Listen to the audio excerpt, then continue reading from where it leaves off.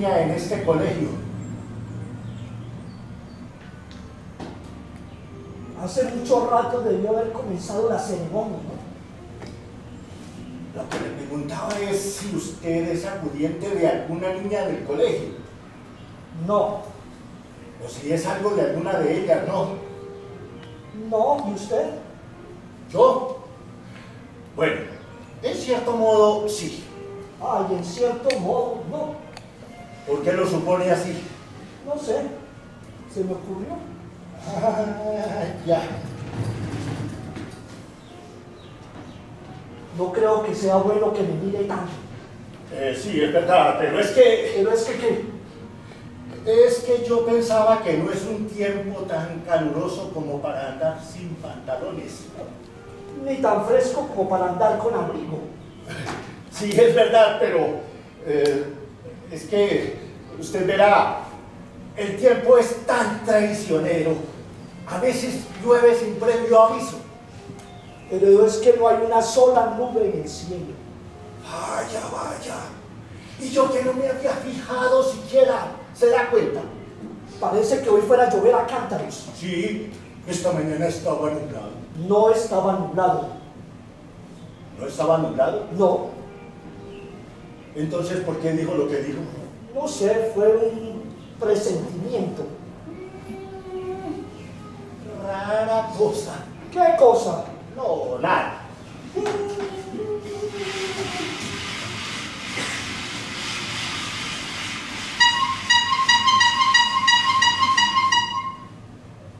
En realidad, lo que yo me preguntaba era por qué rara causa usted hoy andaba sin pantalones. Qué curioso. Eso mismo me preguntaba por usted. Sí, pero yo pregunté primero. La verdad fue que se me rasgaron los pantalones. En el entrepierna, Como una sandía, con toda la carne roja descubierto. con las ramitas y las pepitas. Fueron filos de mi tía Gertrudis que vive aquí cerca. Y mientras ella me arreglaba el pantalón, decidí dar una vuelta con el abrigo de mi tío Henry. Su tío Henry. Vaya suerte la suya, tener tíos tan buenos y que vivan tan cerca, ¿no? Pero yo también le pregunté a usted. ¿A mí? Sí, a usted. Bueno, no, lo que pasa es que yo no, yo no ando sin pantalones, ¿verdad? Eh, yo ando es con shorts deportivos. Eso es. Yo monto cic- ciclismo. Eso es lo que hago, ciclismo. Y esta es mi ropa deportiva. Usted se engaña, señor. Yo monto aquí por las mañanas y como este lugar me queda a mitad de camino, me siento y descanso un rato. Usted debe haber leído sobre los beneficios que tiene el ciclismo para el corazón y las rodillas. Qué raro. ¿Qué? No se le ve acaloreado ni se le escucha jadear.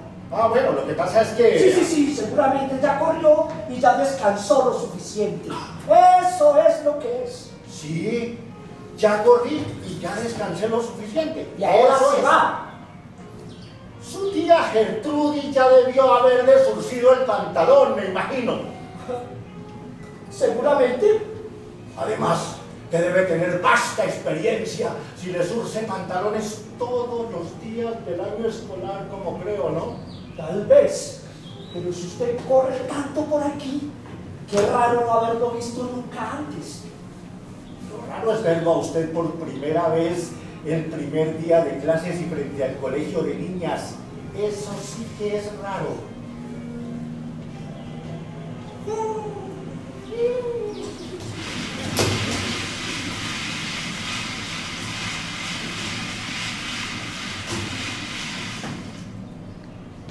¿A usted le parece convincente mi historia?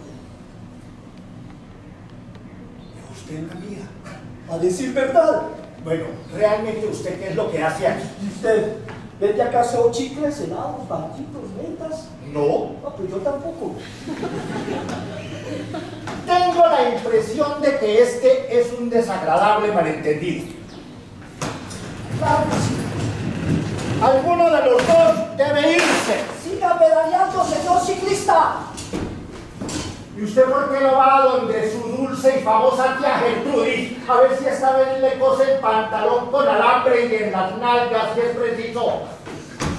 Se pone grosero el señor. Pero señor, ¿sabe qué? No discutamos más. Creo que nos entendemos. Yo diría que no nos entendemos. Pero señor, no es posible que los dos hagamos lo mismo en el mismo lugar. Es contraproducente, grotesco, es indecente incluso. Además, pierde todo su sentido. Estoy totalmente de acuerdo con usted.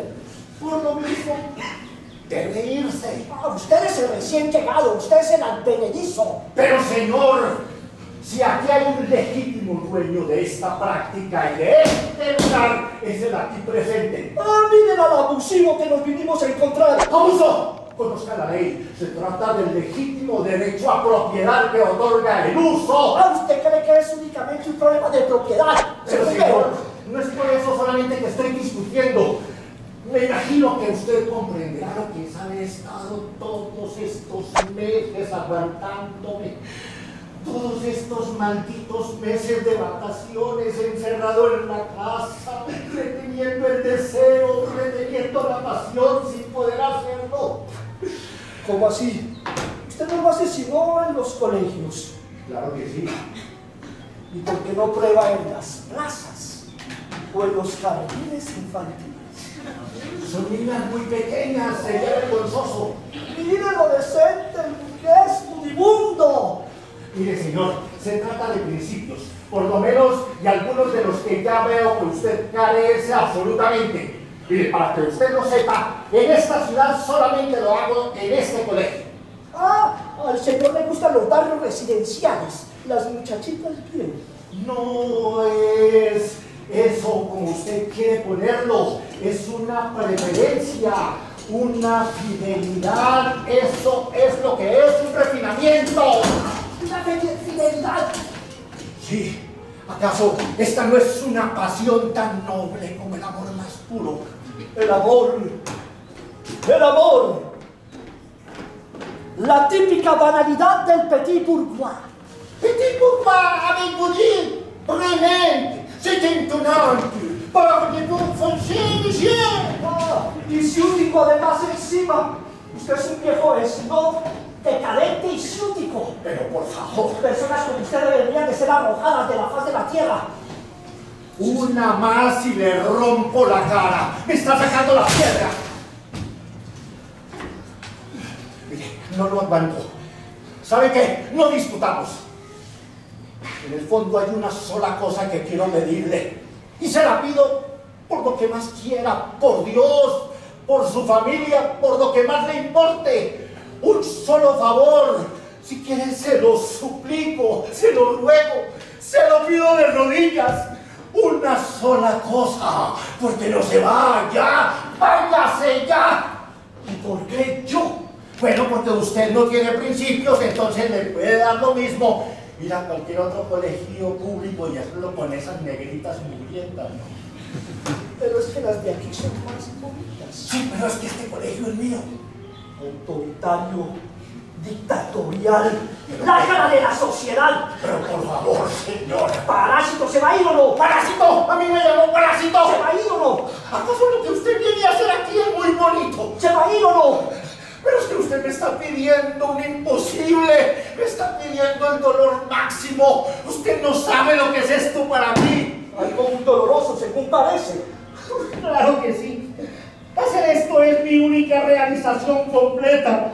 La única realización de una vida oscura metida entre archivos de confesiones ajenas, escuchando quejas de gente afligida todo el tiempo. Usted es funcionario público. Funcionario privado. No lo entiendo. Eso no importa que no lo entienda, mire. Lo único que quiero que comprenda es que hacer esto y hacerlo aquí es mi vida, señor. Mi vida. ¿Y por qué no será una oportunidad? Y empieza de nuevo en otro colegio. ¿Cree acaso que no lo he intentado? Es inútil. No funciono. Abro el abrigo y no me salen disparos. Eso es terrible. Claro que es terrible. Sobre todo cuando el resto de mi vida no puede resumir en una cabeza de alfiler. Hacer esto es lo que me vigoriza y me mantiene. Lo que me inflama. Estar aquí sentado pasado el mediodía y de repente sentir que suena la campana del colegio. ¡Talán! ¡Talán! Música celestial, ¿no es cierto? Y de repente sentir empieza la salida de clases de esas candorosas e inocentes muchachitas. ¿Se las imagina? con sus leggings azules, con sus cabellos sueltos, con sus trencitas, sus colitas de caballo. Y yo lentamente me voy poniendo de pie. Lentamente me voy abriendo el impermeable. Botón uno, fuera. Botón dos, ¡Fuera! Botón 3. ¡Fuera! Ellas vienen incautas, distraídas, cantando, conversando, y no sabe lo que les espera porque en cuanto crucen esa reja voy a destruirlas con toda mi furia. Voy a hacerles pedazos sus vergüenzas, toda su asquerosa virginidad, su maldita inocencia será mancillada para siempre. Su blancura inmaculada será manchada de por vida. Y su grito, su grito, su grito me excita y no lo aguanto, no lo aguanto y ta, ta, ta, ta. Perdone mi exabrupto, es que después de, tanto tiempo de aguantarme me descontrolo, me pasa incluso dentro, eh, al frente del espejo, me descontrolo, me descuido. La verdad es que dan más ganas de llorar que de gritar al verme. Sí, puede ser. Es que con ese calibre Diga eso. Tienen micrófonos de largo alcance. Incluso es posible que nos estén observando. ¿O acaso usted es uno de ellos?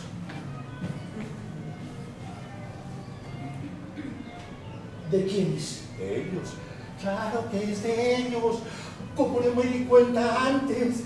¿Cómo puedo ser tan ingenuo? El gusto que tienen ustedes de andar mortificando a la gente. No pueden ver a un digno ciudadano que satisface sus pasiones dignamente sin molestar a nadie. Eso es algo discutible. No tiene nada de discutible, señor. Lo que van a vivir esas niñas les va a servir de una gran experiencia. Se lo podrán contar a su psiquiatra, por ejemplo. O a sus maridos en la noche de bodas cuando oyen o inclusive les podrá servir de fantasía. ¿Saben? Algunas exalumnas me buscan. ¿Lo buscan? Sí. ¿Con ese? ¿Por qué no? Bueno, la verdad es que en gustos no hay nada escrito. ¿Y usted qué sabe si tan solo es un espía? No diga eso por su bien. ¿Qué tanta amenaza? ¿Qué saca amenazándome si ya lo descubrí? No diga eso, por favor. Ya lo descubrí. ¿Qué espera para llamar a sus gorilas? ¿El camión, la camioneta, la jaula? ¿Qué están usando ahora? No siga con eso, se lo ruego. Ya lo descubrí, lo descubrí. Venga, venga, pégame, pégame, métame dentro de un saco. De, tortúreme, degüélleme, dinamíteme. ¿Qué están usando ahora? Ya lo descubrí. Ustedes se creen muy astutos, pero lo descubrí inmediatamente. Todo era una treta, un disfraz. Bien, venga, satisfaga su perversión, quizá mucho más inmoral y sádica que la mía. Ya soy usted uno de ellos. ¡Yo no soy uno de ellos! No lo es verdad. ¿Quién se cree usted? Bueno, es que. ¿Cree que voy a estar así vestido para atrapar un pobre diablo como usted? Porque usted sí es uno de ellos. No, señor, no, usted se engaña, yo no soy... No lo es, ¿verdad? Claro que no, claro que no, esto siempre lo hago solo. Ah, usted es un verdadero egoísta, o trabaja solo, ¿no? Que yo sepa, esto siempre se ha hecho solo en todas partes del mundo. Claro que sí. Depende exclusivamente del sentido que uno quiera darle. Yo diría que no depende de nada. Yo diría que está en su misma esencia, si me permite. Porque no es solo individualismo como usted quiere ponerlo. También es seguridad. Mire, yo tengo muy bien pensado cómo arrancar después de cometido el acto. Pero usted ha puesto que es un aficionado que no ha planificado absolutamente nada. Usted puede ser mi perdición. A ver, ¿cómo tiene pensado huir después de cometido el acto? Me pienso quemar a lo bonzo. A lo bonzo. Lo único que me faltaba, un fanático. Y le voy a echar candela a la plaza. Y al colegio. Me tragué una bomba que en el momento justo que ahora un día brincó, va a explotar. Y todo el mundo va a morir. Y mi sangre quedará esparcido y el semen por todo el pavimento. Así que lo mejor es que se va yendo. Por su bien, váyase. ¡Está loco! Usted es un terrorista. Ah, sí, usted no. Imbécil. Se cree todo lo que le dicen. ¿Cómo? Entonces no era verdad. ¿Qué va a ser verdad? Yo puedo odiar mucho a esta sociedad repulsiva y además no merece mi pellejo. Entonces, lo de la bomba era solamente por tomarme el pelo. ¡Imbécil! ¡Pura bulla! ¡Eso no es usted! ¡Pura bulla! Pues sí, es pura boca, pura boca. Se asusta con un petardo y pretende asustar a las niñas. ¡Ay! Usted lo que es es un viejo senil. No, no, no es así, no es así. Mire, si reaccioné así fue por el nerviosismo. ¿Por el qué? Nerviosismo, la neurosis que a veces La escapa. neurosis ahí. Usted parece una vieja solterona. La angustia de la muerte la que me sobrecoge y me impulsa sobre el pavimento. La angustia, la muerte, el surmenacho. Usted no tiene remedio. Mire, señor, neurosis tenemos todos, ¿no? Todos. Esto es producto del desarrollo social de la sociedad en que vivimos. No me haga reír. Lo que determina la presencia de neurosis en el individuo es la historia sexual de cada uno. Es producto del desarrollo social de la sociedad en que vivimos. De la historia sexual, le digo. ¡Social! Sexual. ¡Social! Sexual. ¡Social! Sexual y no discuto más. No podemos trabajar juntos. Trabajar, digo. Bueno, actuar quiero decir. Bueno, entonces, si no podemos actuar juntos, quiere decir que se va, ¿no? No. Pues yo tampoco, para que sepa, a ver cómo se las arregla.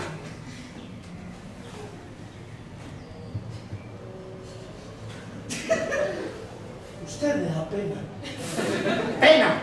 Sí, lástima. Usted es un viejo decadente que se deja llevar por motivos podridos, represores. Usted no ha comprendido de nada de lo que representa esto para mí. Esto para mí es, Es un vicio, un vicio. un vicio, un vicio. Llevo años en este colegio, años. Esto lo que es es una tradición, eso es una tradición. Usted no sabe que las tradiciones también son vicios. Se lo voy a demostrar de una vez por todas. Mire, yo marqué mis iniciales la primera vez que estuve aquí. Deben estar por aquí. Quita el culo de ahí. Ah, aquí están. SF, el 18 de agosto de 1984, hice mi debut. Usted es el único imbécil que se pone a colocar corazoncitos. Ah, ¿Por qué no colocó el número telefónico y la cédula de la ciudadanía para que venga la policía y lo agarre? Me dan náuseas. Creo que voy a vomitar encima de su abrigo. ¡Basta, loco! ¡Vieja bruja! ¡Un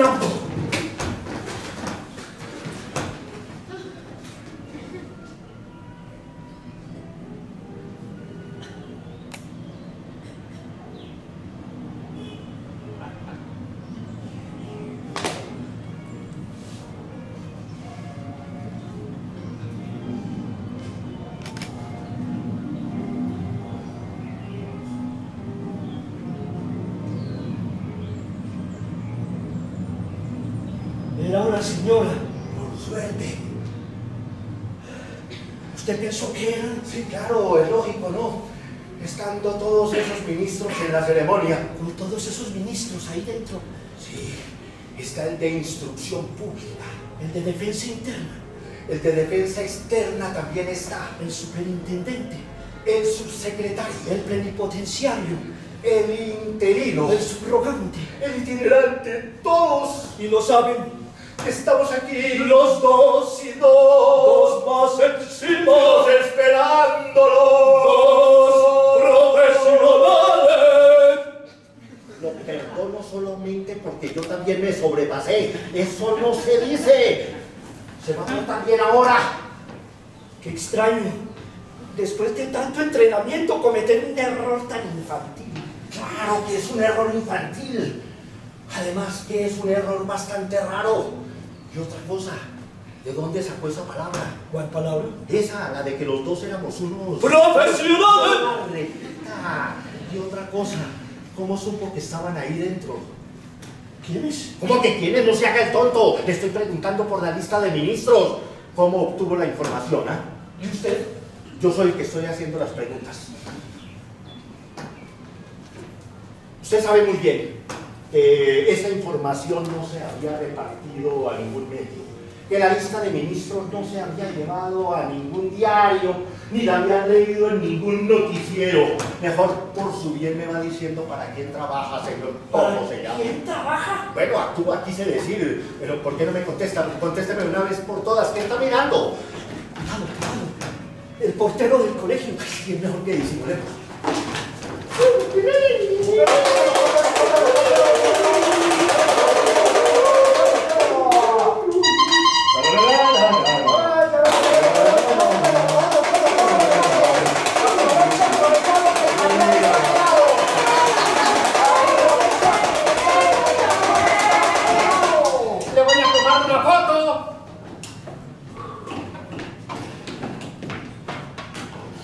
Foto. Un pajarito. Un pajarito. Otro pajarito.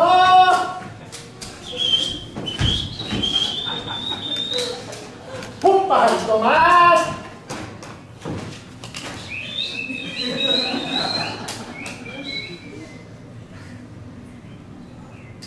Qué bueno.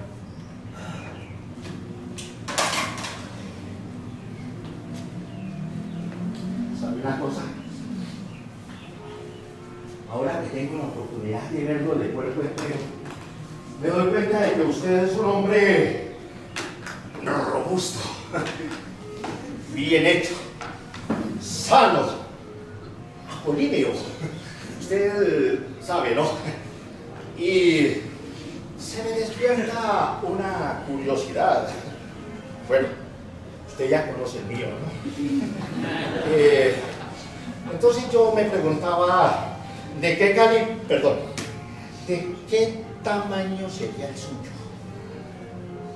No me diga que además es marica. No, no, no, yo no tengo ningún problema sexual. ¿Seguro? Señor, me ofende.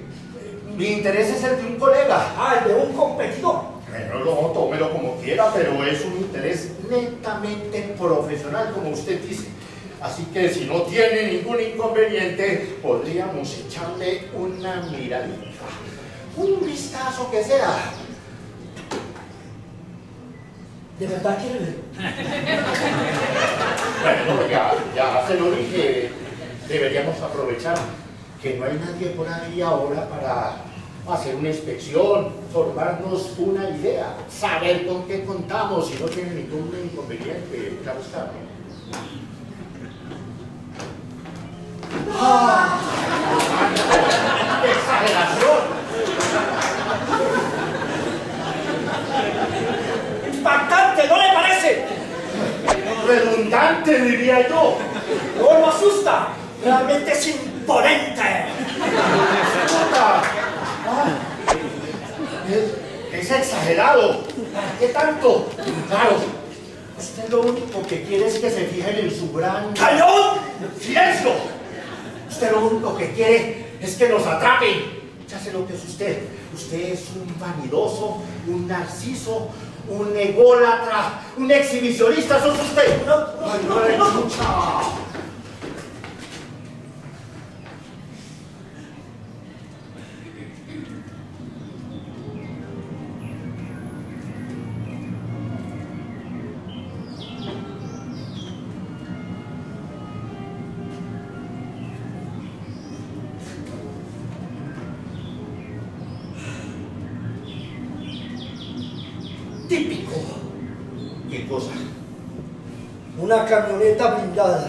¿Típico?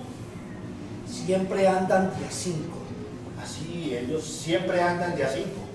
Y el que manejaba era el gordo Romero. Romero, Evaristo Romero, ¿Lo conoce usted? el que trabaja de mesero en el restaurante donde encontraron los cadáveres en los reservados. Sí que lo conozco. ¿Ha trabajado alguna vez para él? Algo así. ¿Y usted? Algo así. A mí me da miedo de puro acordarme. ¡Cuidado!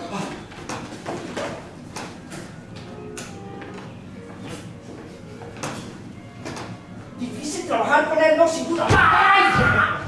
¡No me vuelva a hacer eso ni en broma!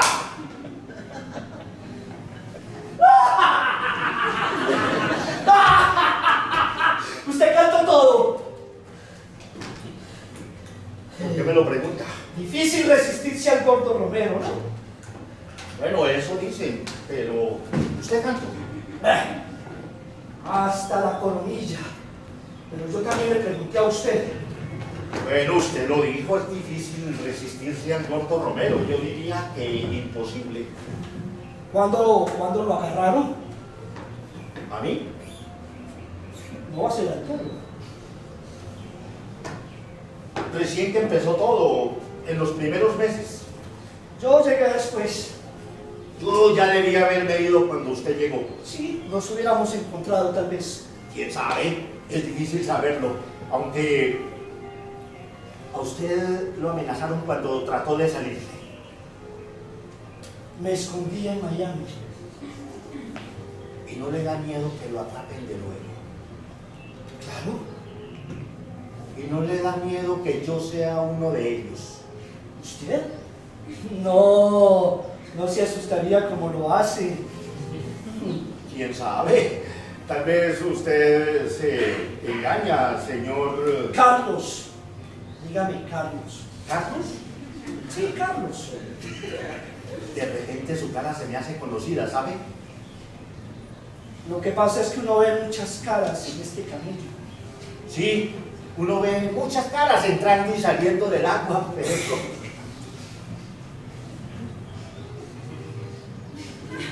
Como submarinos. así como los submarinos.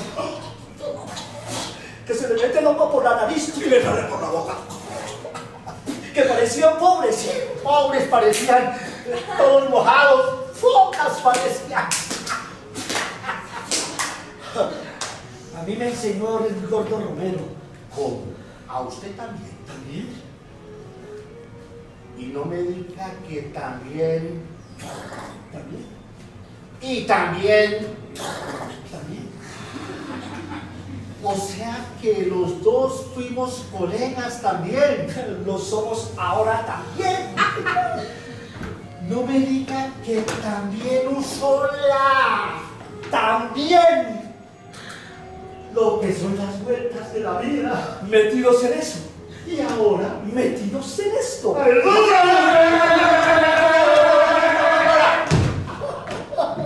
Increíble, realmente increíble. Venga esa mano, colega.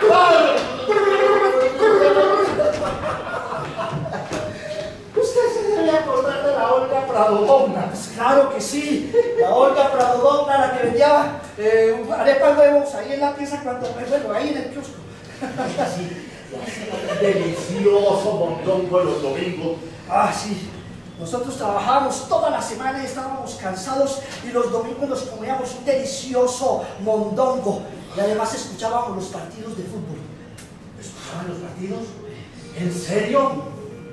¿Usted sabe lo que nos pasó una vez a nosotros? Estábamos ahí, trabajando. escuchando el fútbol, con la radio a todo volumen, con los audífonos en las orejas, cuando de pronto cantaron el gol. Nosotros creímos que nos había cogido la corriente eléctrica. A nosotros nos iba a coger la corriente eléctrica, como si no hubiera seguridad en el trabajo.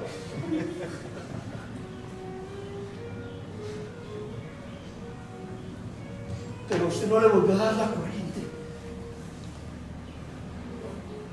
A mí nunca me volvió a dar la corriente.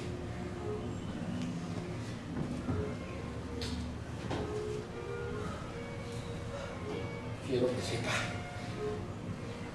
que yo también estuve en Miami. Empezar de nuevo. Sí, a tener que hacer algo a la vuelta. Algo que lo absuelva. Aprobado con rezar. Está loco. Eh, ¿No es que mucha gente lo hace? Dios para nosotros no existe. Es cierto. A veces pienso que si llego a comulgar se me pudre la hostia en la boca. Y yo sueño que cuando me voy a confesar me agarran. Y se decidió por esto. Ajá. Y le gusta. Harto. Pues a mí también me gusta. Y ahí es donde está el problema, porque no sé cómo vamos a arreglárnosla, porque yo esto lo hago solo. Y me da no sé qué cosa tener que echar a un colega. Pero usted tampoco me ha dicho para quién trabaja. Bueno, usted tampoco me ha dicho nada, Carlos. No, no. Ay, chucha, otra vez.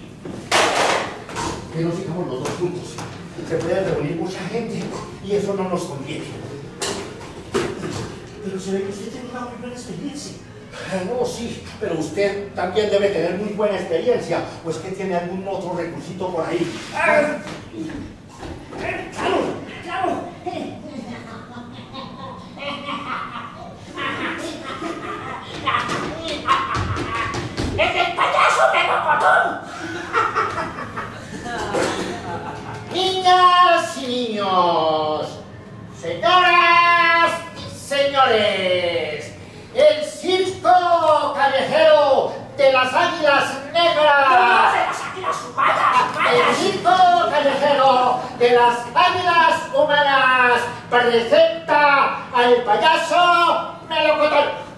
¿Cómo le va, señor Corales? ¿Cómo le va melocotón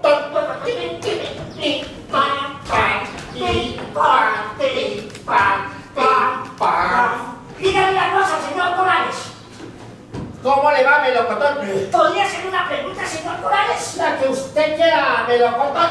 ¿Qué es lo que hace usted exactamente en este lugar, señor Corales? Se la contesto si primero me responde para quién trabaja. ¿Para quién trabaja? ¿Para quién trabaja? Aleluya, hermanos míos. Dios vendrá. Arrepiéntase. Yo Dios y pastor. El Evangelio, versículo 44, 78, 98, dice, Padre reto, pecadores, pecadores, usted es un pecador, vaya rato, Satanás, vaya recto, Satanás. Usted parece que fuera de la misma escuela. Brindemos ciudadano por él. Usted que está hincho y yo que estoy hincho, dígame una cosa. ¿Esa luz que hay allá es el sol o la luna? Ciudadano, tengo mi informe. Me declaro incompetente. ¡Incompetente! Usted no soy de este barrio. Permítame hacerle otra pregunta. Si el país estuviera cagado, es una suposición. Una des- desafortunada suposición. La suposición de alguien que no está en sus cinco sentidos, claro está. Pero si el país estuviera cagado, ¿hay que decirlo o no hay que decirlo? Hay que decirlo. No, no, no, chiste callado, cállate la boca, aquí te usted. Hay que decirlo, le digo. Ve, yo le voy a explicar qué es lo que a usted le pasa. Y es que usted está subido en lo que es el dilema hamletiano del hombre latinoamericano de nuestro tiempo.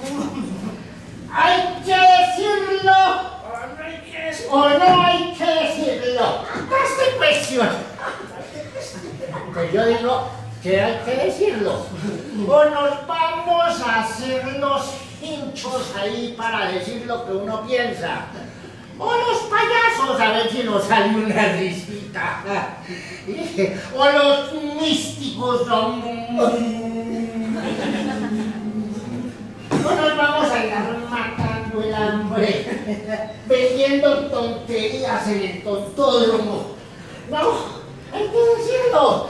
So facto per omnia secula seculorum in unimum pluribus unum laboratorium. Perdón, discúlpeme, discúlpeme, yo creo que me exageré y no pude evitarlo. No, no, no, eso está muy bien. No, no, muy usted- bien. ¿Usted cree? ¿Usted cree? Usted es todo un profesional. No, no, no, yo soy un amateur. Eh, además, esto lo hago exclusivamente por mi desarrollo personal.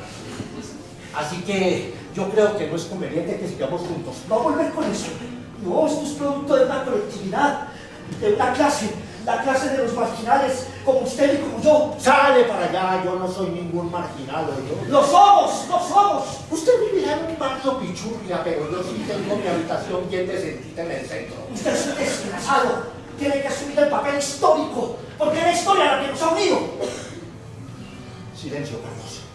Lo vamos a hacer juntos.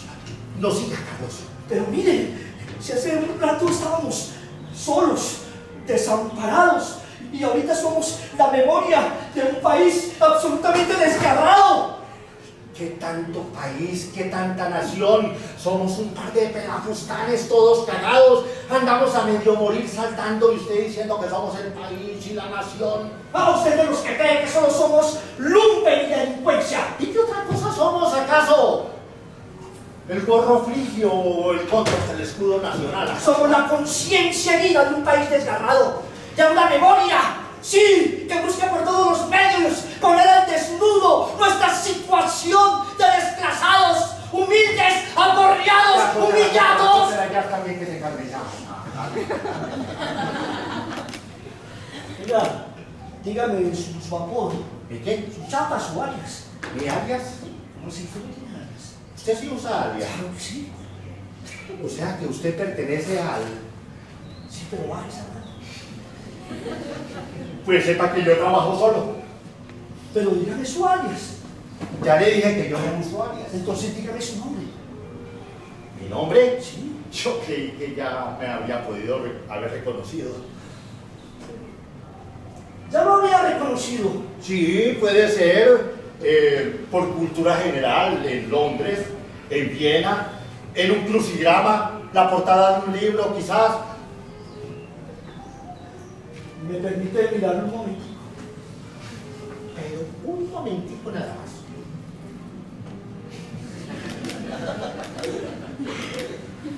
A mí esa cara se me hace conocida, pero no recuerdo su nombre.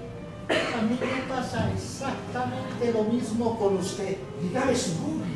¿En serio? Sí. Mi nombre es Freud. Soy Sigmund Freud.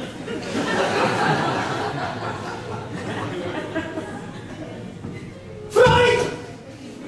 El famosísimo profesor Freud. Sí, disimule, por ¿De favor. verdad? El genial profesor Freud de Viena. Guarde por lo menos la compostura si puede ya. Pero esto es maravilloso. Esto es maravilloso. Está aquí a mi lado el mismísimo profesor Freud. No siga, por favor, se lo suplico. Estoy totalmente retirado de la vida pública, se me da por muerto. Así que, por favor, menos alborotos, se lo suplico. Psicoanalíceme, profesor. Por favor, tiéndase. Guardemos por lo menos las apariencias. Pero si quiero una vez en la vida. Una vez no más. No podemos ahora. Primero tendríamos que habernos puesto de acuerdo en muchas cosas. Pero es que nunca se ponen de acuerdo en nada. Nos pondremos de acuerdo en lo que sea. Esto es maravilloso. Es maravilloso. El profesor Freud aquí junto a mí. ¡Imbécil! ¿Por qué no pone un aviso en el diario? ¡Freud! ¡Freud! ¡Freud! ¿Acaso es para históricos? Me extraña, profesor. Usted parece que no aprendió nada con Romero. ¿Por qué?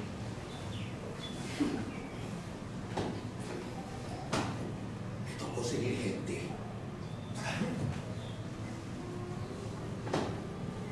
Usaban micrófonos, Usábamos señuelos, también. autos blancos con vidrios polarizados, Sí, delatores. sí. Disimule entonces.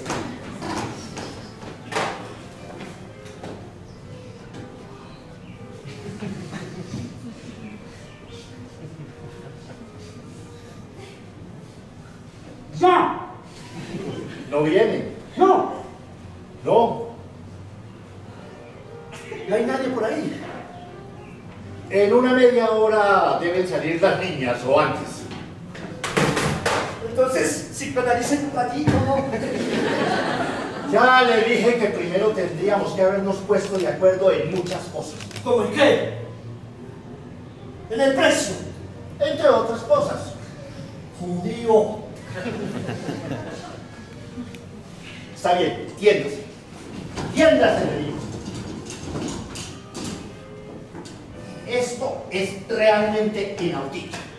Primero tendríamos que habernos hecho unas entrevistas preliminares ¿Pero para qué?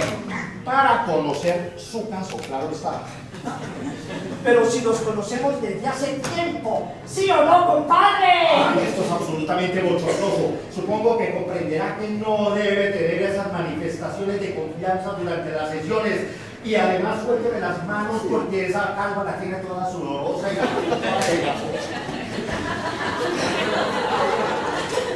Nos vamos a tener que ver durante unas cuatro o cinco veces por semana, durante unos siete, ocho, nueve o diez años según la evolución. Ah, pero eso es mucho tiempo. Es así. El psicoanálisis es radicalmente infinito. Pero es que yo quiero algo finito. ¿Quiere que lo psicoanalice o qué? Ah, sí, pero un ratito nada más. Ah, no, así sí no se puede. Ah, usted es demasiado formal. Tal vez esa formalidad de la que usted tanto habla sea una, un problema interior suyo que quiere representar es demasiado formal, exageradamente formal. Que haga esto, que haga de más allá, que se voltee aquí, que se voltee allá. Usted es demasiado formal. Podríamos determinar más bien que eh, es usted el que está lleno de trabas, afligido, como recién dijo. Yo no he dicho afligido. ¿No lo dijo? No, señor. Entonces debió haber dicho constreñido, abrumado, nervioso, ansioso, eh, fregado, qué sé yo. ¿De dónde saqué esa palabra? No me puedo concentrar. No puedo seguir psicoanalizando a nadie en un parque. ¿Sabe qué? Me voy. Me voy, sí. Me vuelvo a Viena, a Londres, a Nueva York, a Buenos Aires. ¿qué No, no, no, profesor, espera un momentico. No me dejes solo, por favor. Eso sería terrible. Se lo ruego, por favor, no me deje solo, no me deje solo. ¿No le parece una transferencia algo súbita? Bueno, está bien, tiéndase. Tiéndase.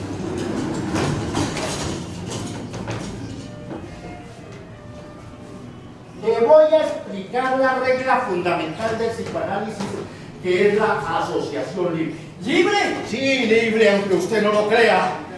Es breve. Présteme atención y no me interrumpa. Ah, ya me imagino a usted en su gabinete en Viena, ah, con sus figuritas orientales, con su sillón de cuero, con su sillón capitoné. Ya, ya, ya, ya. Venga, ahora que estamos en confianza, ¿e-, ¿es verdad que usted se acostaba con su cuñada? Pues eso es lo que dicen, yo no sé. Y que su hijo se aprovechaba de las pacientes ahí en el estudio y... ¿No? Y no, no se emociona mucho, no se calienta mucho con esas historias de los pacientes que sueñan acostarse con el papá y la mamá. Mire, le decía, o le trataba de decir, que la asociación libre consiste en que usted irá hablando de lo primero que se le venga a la cabeza por trivial, inadecuado, absurdo o doloroso que le pueda parecer. Usted me parece un papanatis. Pero qué insulto más rebuscado. Pero es lo, lo primero que se me viene a la cabeza. Está bien, está bien. Ahora que se abrió el abrigo, me hizo acordar de un chiste. Un tipo que tenía un gran pene eh, y llegaba al mostrador y tocaba eh, con el pene el mostrador. ¡Pam, pam, pam, pam! Un petaco de cerveza. Ya me parece divertido. ¿A usted le parece divertido? Sí, me parece muy divertido. Un personaje que llega con el gran pene y de aquí dice, pa, pa, pa, pa, un petaco de cerveza. ¿Qué edad tenía usted cuando ese chiste lo hacía reír tan? Ah, todavía estaba muy niño. Eh, me doy cuenta. Continúe. Bueno, y el tipo estaba aburridísimo, porque todos los días el tipo llegaba con el...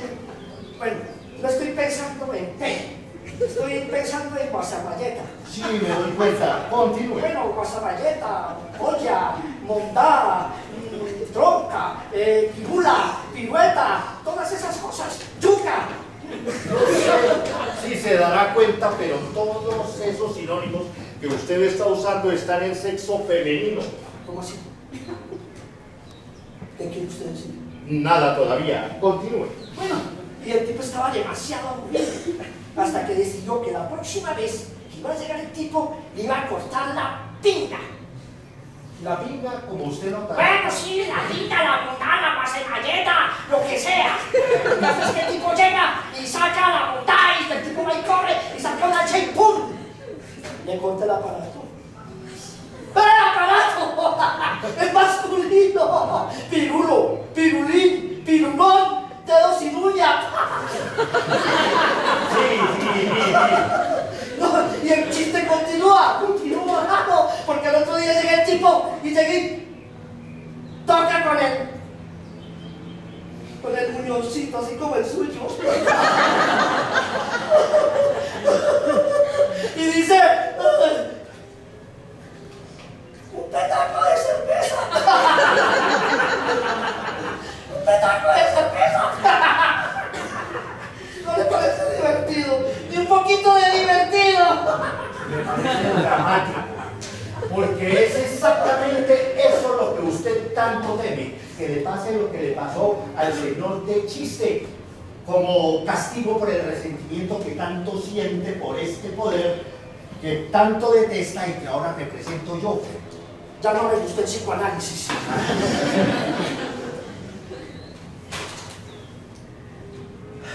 ¿Sabe una cosa? Anoche tuve un sueño. No hay nadie escuchando. No, no hay nadie, continúe. Soñé con un fantasma que recorría el mundo. ¿Cómo dijo usted que se llamaba?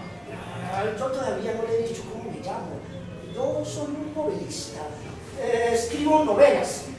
Lástima que la gente me tome muy en serio. Como por ejemplo, Das Capital. ¿Gas cuánto?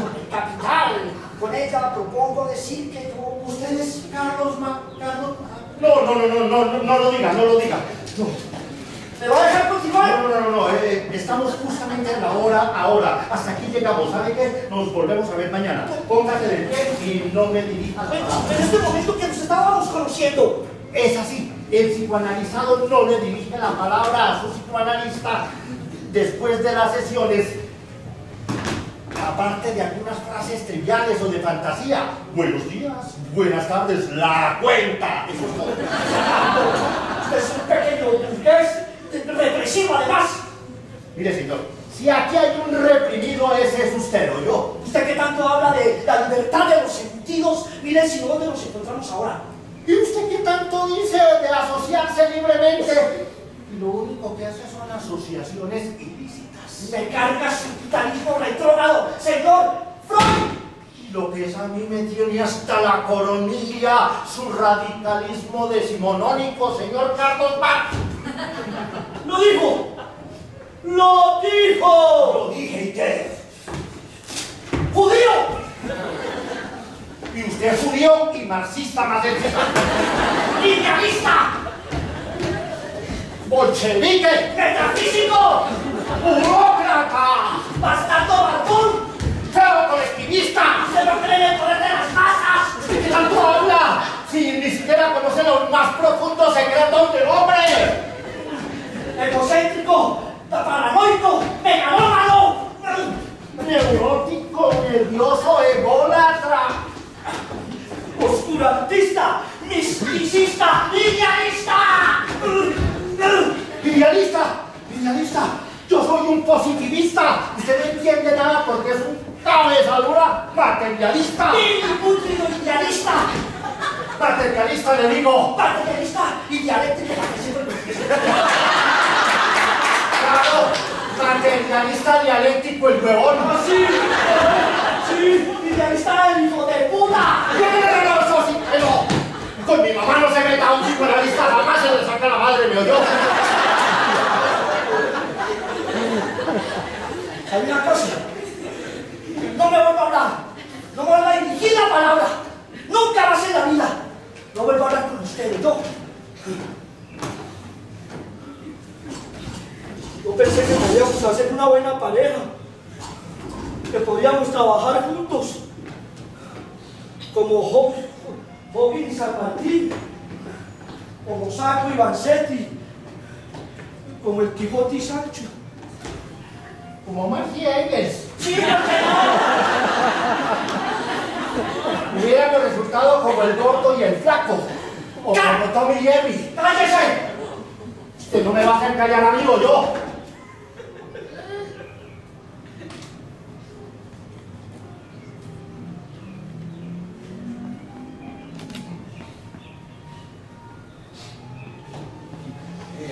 Realidad yo no quise decir eso. Decir que Eh, no sé todo. eh, yo quiero que pedirle disculpas. No, soy yo el que debo disculparme. Yo debía haber permanecido en neutralidad absoluta y fui grosero, vil y abusador. Espero que me perdone. Sí, realmente fue grosero, vil y abusador. Pero usted también es un poquitín tosco e irritante. Supongo que como es de estructura medio primitiva, no puede evitarlo, ¿no? Seguramente. Sepa que yo soy un hombre demasiado arrebatado. Me apasiono de tal forma toda mi vida. Todo mi quehacer lo he dedicado a estudiar y a entender estas pasiones que tanto me dominan, que me consumen, señor Marx, como ahora. Yo también le pido disculpas. Soy un poco egocéntrico, tosco, brusco, me dejo llevar por la violencia, por todas esas cosas. No, no exagere, eh, todos tenemos un impulso de muerte, una fuerza fanática, eh, una Eso es fuerza producto del desarrollo social, de la lucha de clases que el socialismo y el comunismo Va a han seguir permitido. con eso, señor Marx. Eh, discúlpeme, señor Freud. Sepa que yo me arrepiento de verdad. Le ruego que me disculpe.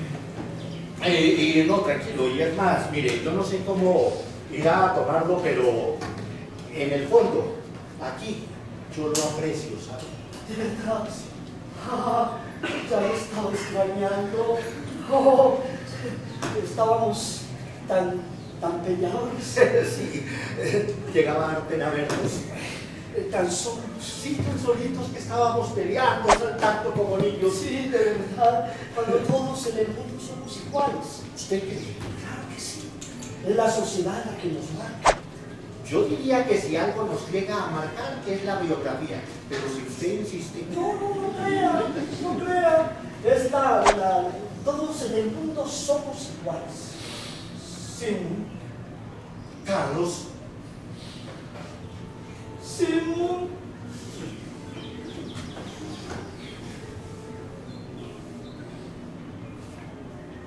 todo es culpa de mi historia familiar, ¿sabe? Empezando por mi padre. Él fue una figura muy dudosa, por decirlo menos. Le voy a contar una sola anécdota. Una sola. Tendría yo unos 10 o 12 años cuando él me contó que una vez antes, yendo por la calle al Sabat, un gentil, como él dijo, le arrancó el sombrero, se lo tiró al barro y le dijo, ¡Perro judío! ¿Y ¿Sabe lo que hizo mi padre ante tamaño insulto a él y a su raza? ¿Sabe lo que hizo? Ni siquiera se defendió, ¿se da cuenta? Y además, mi sobrino, mi compañero de juegos de la infancia, después de él, ¿cómo decirle? Em, Nunca más pude dejar de ver en cada conocido a un amigo y también a un enemigo. Ya lo sabía. Lo leí en el Die Traumdenken, ¿Cómo? en la interpretación de los sueños. ¡Ja! Claro, es que hace tanto tiempo que no leo en alemán. Bueno, verá, eh, yo a usted lo envidio, Carlos. Sí, lo envidio. Porque usted sí supo captar las fuerzas de la historia. La verdadera propiedad de las cosas. Cómo se destruía la identidad del hombre, su clase, su raza. Yo hubiera querido que mi padre... soy yo quien lo envidio a usted. ¿Qué te va a envidiar en mí, Carlos? Claro, su mesura, su capacidad de trabajo, Son cosas neuróticas, nada más. ay, su elegancia, su corte bienés, su caballerosidad. Mientras que yo soy un roto, un ruin, una rata. No, no dramaticemos. Pero si todo también es culpa de mi mamá. Ella que se creía una aristócrata, que este- tenía todo el orden y la limpieza, famosa en Trevis por todas sus manías. ¿Sabe lo que me decía? ¿Sabe lo que me decía mi mamá? Charles, en vez de escribir el capitán, ¿por qué no amasas un capitán? Mi mamá era una explotadora capitalista. Mi mamá era una exportadora capitalista, ¿se da cuenta? Y pensar que ahora hay tantos problemas en el mundo por culpa de su mamá, ¿no, Charlie? bueno, esa anécdota tan personal de su vida yo ya la conocía. Debe ser alguna incidencia decirlo, pero me tocó atender a algunos parientes suyos en Londres en los primeros años de la guerra. Usted ni siquiera comprende cuán profundamente lo entiendo yo a usted. Ah, pues yo sí, con usted me siento tan protegido, tan comprendido. Y es más, yo creo que juntos, como usted dice, vamos a sentirnos mucho mejor. Sí, claro, es por supuesto. Esposa que nos miren nada más. Almas gemelas. Para ambos, la historia del hombre no es más que la historia de sus represiones de cualquier manera. Y, y antes estábamos tan solitarios los dos. Tan solos, luchando como los Quijotes. negándonos tontamente, neuróticamente, diría yo, la existencia el uno del otro, Descendiendo el uno del otro, el cosmos intrasíquico. del macrocosmos extrasíquico. Yo ya no sé si pueda vivir sin ti, Carlos. yo sin ti, sin, sin ti no podré vivir jamás y pensar que nunca más estarás junto a mí sin ti. sin. Carlos, ¿Me permite hacer una pregunta? la que usted quiera. Yo creo que ya no puede haber secretos entre nosotros. ¿Qué hacía usted cuando trabajaba para ellos? Pero ¿por qué esa pregunta? ¿No le parece que si vamos a entablar una nueva amistad sería mejor postergarla, digo yo, eh, teniendo en cuenta que son cosas pasadas? Eh, además, eh, es tan amargo. ¿no? No, no, no, no, sí, no. ¿Le parece muy importante? Sí, Bueno, está bien si lo toma así. La verdad es que yo... Yo interpretaba sueños. Lo que hoy interpretaba sueños, eh, sí. Eh, yo colaboraba en los interrogatorios. No lo tomé así.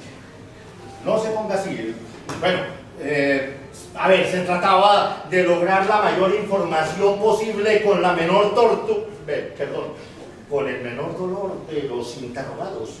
Eh, era por ayudar a los prisioneros, por supuesto. Pero eh, era solidaridad por el dolor. Usted comprende, ¿no? A ver, yo estaba ahí y tenía que hacer algo. Hice lo que sabía hacer. todo lo que usted descubrió lo puso al servicio de ellos. Sí, es verdad, pero fue una forma de ayudar, entiéndame. Yo estaba metido en el baile. Además, yo hice algo. Hay gente que ni siquiera quiere hablar del asunto, echarle tierra, dar de vuelta la hoja. Pero, ¿y usted? Yo también podría hacerle la misma pregunta. ¿Qué hacía cuando trabajaba para ellos? Nada, pendejadas.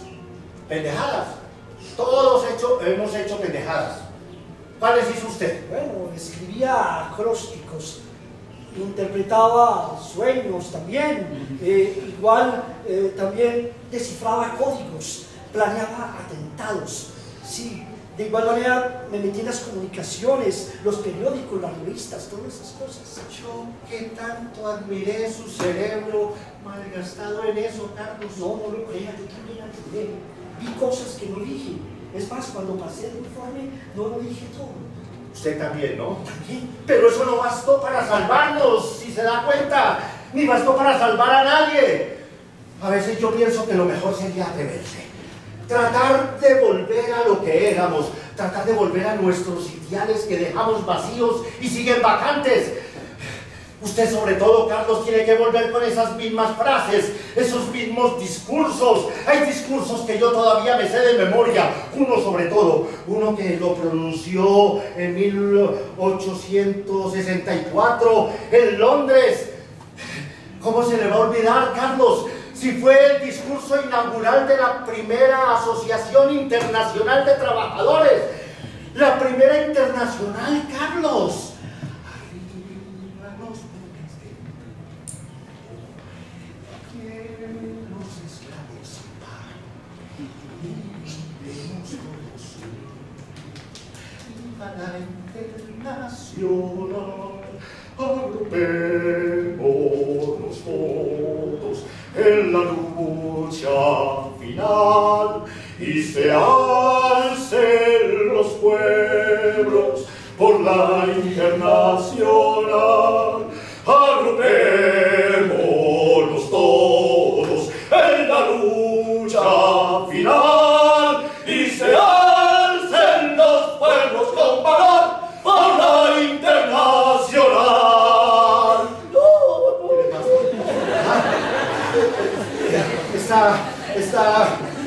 se puso angustiado ahora, claro. A mí también me pasa lo mismo. Si a mí también se me quiebra la voz cuando la canto, Carlos, usted tiene que volver con esas mismas frases. Esos mismos discursos serían contraproducentes en su efecto. Carlos, usted tiene que volver. Vayamos a la radio, a las revistas, a la televisión si es necesario. Tiene que volver, Carlos, vuelta con esas mismas frases, ¡ya! ¡Basta, basta! ¿No saben que eso mismo lo gritaba el gordo Romero? Nos robaron nuestras palabras y las suyas. Mías, sí, ¿qué pasa con las mías? El caso Dora, el niño Hans, los lobos. Son libros míos, ¿qué pasa con ellos? ¿Usted no sabe que el gordo Romero se masturbaba con los expedientes clínicos? Y que además sacaba sus ideas con los libros. Sí, yo estaba ahí y vi todo eso. Todos estuvimos ahí. Todos. Ahora, ¿dónde deberíamos estar? Bueno, yo creo que deberíamos estar eh, en los... eh, ¿Dónde deberíamos estar? no sé. Deberíamos estar en las universidades. Allá deberíamos estar. Deberíamos estar en los parlamentos. Allá deberíamos estar en los parlamentos, en las universidades. Allá es donde debemos estar. Ah, pero ¿dónde estamos? ¿Dónde estamos? En un parque. En un parque. ¡Míreme! ¡Mírese! Nos han vuelto caricaturas, obscenos. Nos toca salvarnos a usted. Usted y yo. Juntos. Sí, juntos es lo único que nos queda. Eh, es el destino, ¿no? Sí, ¿sabe una cosa? Yo siempre lo he querido mucho como amigo. Como amigo. Me gusta mucho como suena. Hace mucho tiempo que nadie me decía así. Hace mucho rato que debía habérselo dicho. Hace mucho rato. Y yo se lo agradezco de cualquier modo, Carlos. ¡Un auto! Ay, Sa- ¿Sabe del cuidador de autos? ¿quiere que lo haga yo? Sí, sí, hágalo. A la derecha. A la derecha. A la de... A la izquierda. A la izquierda, a la izquierda, toda la izquierda, toda la izquierda. Eso está bien. Eso está bien. Eh, la próxima vez yo hago el cuidador de autos usted hace el del... El del vendedor de paraguas retráctiles. Yo hago el de manicero. ¿Manicero? Sí. La cerquita no te acuestes a. No te. Ay, mire, yo voy a hacer uno uno que me inventé yo, que usted ni siquiera se lo sabe. Lo voy a hacer aquí en honor a usted. mire, se trata de algo de música y de zapateo americano. Usted sabe que a mí me gustó siempre mucho el teatro, ¿no? Vea, es un músico callejero con una peinetica envuelta en un papel celofán que baila más o menos así.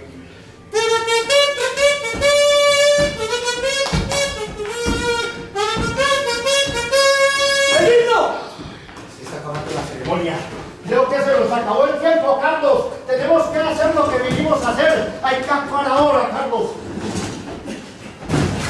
Venga, ¿Qué le pasa? espera un momento. ¿Qué? Espera un momento. Es que de pronto me dio miedo. Miedo. Usted con miedo, Carlos. Yo creo que me hizo daño el psicoanálisis. El miedo no nos va a servir para nada ahora, Carlos. Tenemos que hacer lo que vinimos a hacer. ¿Usted cree, esto, que cree que va a servir esto para algo? Pues yo no sé, no creo que sirvamos para otra cosa. Y entonces es mejor que se calme para que por lo menos esto nos salga bien. Bueno, está bien. Todo va a salir bien, muy bien. No lo dudo. Con ese tremendo calibre que usted se gasta. Mm, Y usted con ese calibre tan pequeño, se ve que usted es un buen tirador. La pequeñez siempre se ha suplido con habilidad y puntería. Bueno, ábrase el abrigo, Carlos. Ahí vienen las niñas. Están abriendo la reja. Eh, Oiga, usted es realmente Carlos Marx. Si usted realmente es sin... Y si no lo fuera, seguiría considerándome su amigo. ¿Usted cree que eso es importante ahora? Eh, sí, además, ¿a quién le va a importar después? ¡Vamos! ¡Ahí vienen los ministros! Apunte bien, Carlos. ¡Buena suerte! ¡Buena suerte, sin... ¡Uno, dos, tres! ¡Ah!